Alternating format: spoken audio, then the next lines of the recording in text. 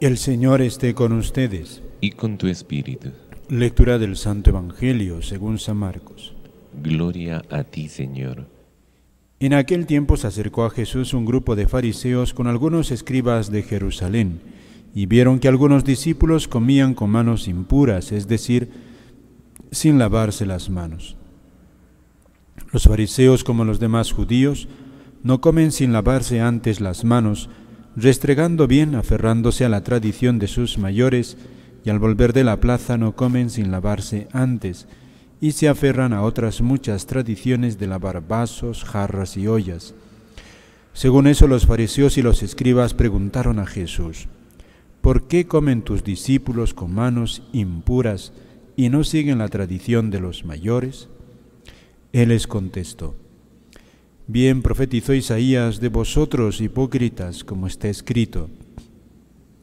Este pueblo me honra con los labios, pero su corazón está lejos de mí. El culto que me dan está vacío, porque la doctrina que enseñan son preceptos humanos. Dejáis a un lado el mandamiento de Dios para aferraros a la tradición de los hombres. Y añadió, anuláis el mandamiento de Dios por mantener vuestra tradición. Moisés dijo, Honra a tu padre y a tu madre, y el que maldiga a su padre o a su madre tiene pena de muerte. En cambio vosotros decís, si uno le dice a su padre o a su madre los bienes con que podría ayudarte, los ofrezco al templo, ya no le permitís hacer nada por su padre o por su madre, invalidando la palabra de Dios con esta tradición que os transmitís. Y como estas, hacéis muchas. Palabra del Señor. Gloria a ti, Señor Jesús. Pueden tomar. Amados hermanos, en nuestro Señor Jesucristo y María Santísima, nuestra Madre. El Evangelio que hemos escuchado, una invitación a todos nosotros a vivir sobre todo el mandamiento de Dios y, y aquí está la, la gran invitación, y cuidado con la tradición de los hombres. El mandamiento de Dios y la tradición de los hombres. En el fondo está Dios o los hombres. Es decir, dada nuestra realidad, queridos hermanos, muchas veces con el paso del tiempo, también con la fragilidad que llevamos todos, muchas veces podemos dejar de lado, dejar de lado lo que Dios quiere y eh, por situaciones humanas y así incluso legales, la de este, dejar de observar los mandamientos de Dios. Ese es un gran riesgo que llevamos todos, en todo sentido. Por eso aquí cuando Jesús habla del mandamiento, honra a tu padre y a tu madre, ¿eh? recoge algo que en la Sagrada Escritura se lava mucho. El, el, que honra a su padre y a su madre tendrá larga vida. Es una manera de decir bendición en abundancia. En el fondo lo que quiere decir es que el, el hijo tiene deber, ¿eh? sea quien sea sus padres, de respetarlos, de amarlos, ¿eh? tratarlos con dignidad. Esa es una exhortación de toda la Sagrada Escritura. Para nosotros esto incluso se hace ejemplar en Jesucristo. Él se hace hijo y vive con la Virgen y San José, a los que va a obedecer de manera ejemplarísima. Nunca llamó la atención, por lo contrario, ¿no? Jesús es conocido como el hijo del carpintero y dice la Biblia y crecía ¿eh? en edad, sabiduría y, y vivió bajo su autoridad. Es decir, Jesús aparece como el modelo de todo hijo. Más aún, el mismo Jesús, hay episodios muy bonitos, por ejemplo, cuando hace su primer milagro, lo hace a petición de su madre. Por otra parte, también Jesús hará muchos milagros porque se lo piden muchos papás, una mamá, la, mamá, el papá de, algún muchacho que estaba poseído, también famosa la mujer sirofenicia que le pide a Jesús la curación de su hija. Y Jesús resucita incluso a un joven porque entiende que su madre es viuda. Es decir, Jesús tiene un gran amor eh, a los padres y por los padres hace milagros. Es decir, Jesús fue muy sensible a la realidad de la familia, porque Él vive como modelo, ¿eh? vive como modelo de hijo. Este mandamiento que está puesto por Dios para nosotros, queridos hermanos, eh, como todos los demás mandamientos, siempre tiene un peligro, porque los hombres somos frágiles y eh, ya sea porque tenemos el pecado y nos entra la ingratitud, o también por situaciones que pueden pasar en la familia, cuántas veces esta, digamos, esta palabra de Dios, honra a tu padre y a tu madre, se deteriora. Entonces hijos que no quieren a sus padres, que les cuesta quererlos, mm, discusiones, eh, faltas de respeto, incluso olvido, se llega incluso a olvidar a los padres. Y aquí nuestro Señor nos dice no. El mismo Jesús antes de morir encomienda a San Juan que cuide de su madre. Y en el fondo aquí, queridos hermanos, ¿eh? en el fondo de este, de este Evangelio, ante todo está ver ¿eh? la familia, los padres, como un don de Dios, no solamente con su realidad humana. Cuando dice aquí Jesús, dejáis a un lado el mandamiento de Dios para aferraros a la, a la tradición de los hombres, es decir, Dios nos da un mundo, una realidad, pero los hombres, precisamente porque administramos este mundo a veces, ahí va, cambiamos las cosas de Dios. Dios o los hombres. Ver mi vida con los ojos de Dios o con mi realidad meramente humana. Si vemos nada más con nuestra realidad meramente humana, muchas veces vamos a ver a los papás o a, a los miembros de nuestra familia como a veces enemigos. Y aquí está, no, no puede ser. Es un don de Dios la familia.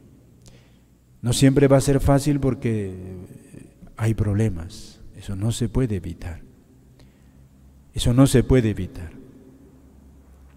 Pero aquí Jesús eh, subraya esto. O lo vivimos según los mandamientos de Dios o según los hombres que por el egoísmo del hombre, incluso como en tiempo de Jesús, pues hay, hijos que no ¿eh? velaban por sus padres y los dejaban en la pobreza. Y dice Jesús, no, esto no. Y esto eh, de la realidad de la familia, queridos hermanos, es un, no solamente es un mandato que está por parte de Dios así desde fuera, sino que es algo que está metido en el corazón del hombre, es la necesidad de vivir en familia. Y la familia no solamente en cuanto en eh, situación natural, papá, mamá, hijos, sino en general el, el hombre, Dios así lo ha hecho, es un ser social. Necesita vivir rodeado de personas que le quieran, que le aprecien. No es el hombre solitario, eh, es rarísimo, rarísimo. Este pasaje que hemos escuchado del libro del Génesis, que dice, hagamos al hombre, dice ¿no? Eh, en la Sagrada Escritura, de una manera mm, enigmática, dicen, hagamos al hombre a nuestra imagen y semejanza. Y Dios creó al hombre en, en hombre y mujer los creó, dice la Biblia. Esto es precioso, dicen, como em, dice Dios, el hombre es imagen de Dios. ¿Y qué es ser imagen? Dios es Padre, Hijo y Espíritu Santo. Dios no es soledad, no es solitario. es una familia. Y si el hombre tiene este reflejo de Dios, entonces el hombre no está hecho para vivir solo. Por eso también dicen muchos, cuando dice creó al hombre, dice de esto, hombre y mujer los creó. Este es el hombre completo. En una familia fundada por el, eh, fundada por el papá y la mamá, son dos. Son dos. Es decir, el hombre completo está ahí. Se necesita mutuamente. El hombre no está hecho para ser solo. Por eso también es la llamada a superar las dificultades que podamos tener en la familia. Y por otra parte, también pedirle al Señor esa, la sabiduría del corazón para saber superar las dificultades, ¿eh? los problemas que se puedan dar en toda relación familiar, que más o menos siempre se da. Porque no podemos vivir solos, Dios no nos ha hecho para vivir solos. Y precisamente en esa, en, esa sociedad tan mínima que es el matrimonio, varón y mujer, son los dos distintos. Pero fíjate, o sea, por el designio de Dios, ambos están llamados a vivir unidos. Este es el matrimonio. esas diferencias no es para que choquen, sino para que se complementen. Porque lo que tiene uno no lo tiene el otro y lo que tiene el otro lo necesita el otro. Se necesitan, se dan. Por eso eh, precisamente los hijos, fruto del amor de los esposos, es porque ambos se dan algo y de ese don mutuo venimos nosotros los hijos. Venimos nosotros. Y esto también es muy aplicable a toda sociedad humana, o sea, a todo grupo humano, un grupo eh, apostólico, un grupo parroquial, un grupo, cualquier grupo humano, es que somos diferentes todos, pero necesitamos uno del otro.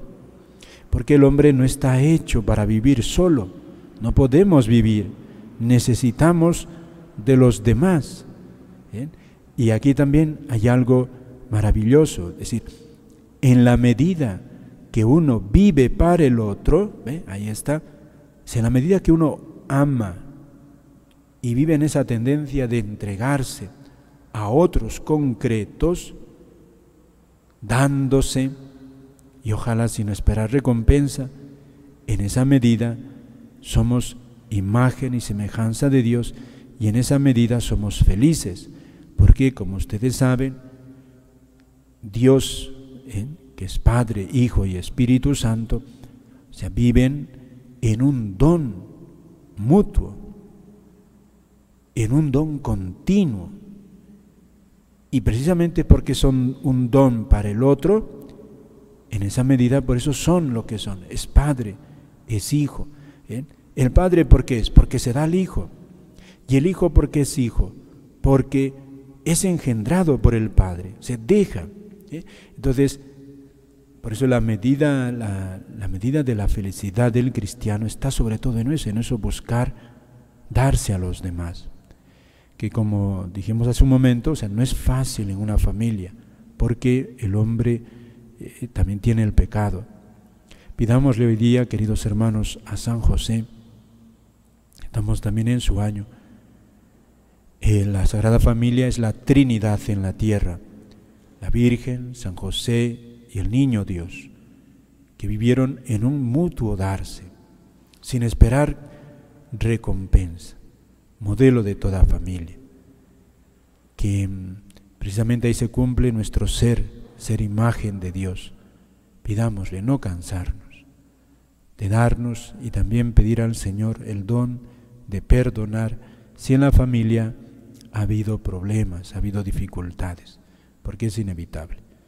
En la Sagrada Familia no hay problemas ni en Dios, porque en Dios es la santidad en sí, la Sagrada Familia unos santos extraordinarios. Pero Dios nos lo pone como modelo. Pidámosle su intercesión por toda familia, por todo grupo humano, para que sepamos vivir, sobre todo dándonos, dándonos por amor a Dios, en esa medida ¿eh? seremos realmente imagen de Dios y en esa medida nos realizamos como cristianos.